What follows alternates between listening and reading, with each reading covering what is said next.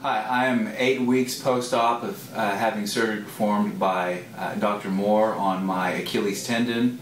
Uh, before seeing Dr. Moore, I had been battling with uh, severe Achilles tendon problems. I had a rupture, had an infection, had seen two other orthopedic surgeons, and um, they couldn't quite get me where I needed to be. Finally, I was referred uh, to Dr. Moore, and he was able to find the solution, and this is the best I've felt in over a year.